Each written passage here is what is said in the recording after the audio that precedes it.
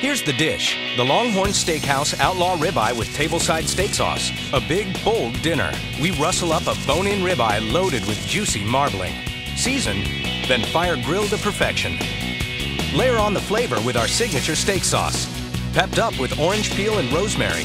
Mix in red chili for an extra kick. That's putting the sizzle back in the steak. The Outlaw Ribeye with tableside steak sauce. See more to dish about at longhornsteakhouse.com.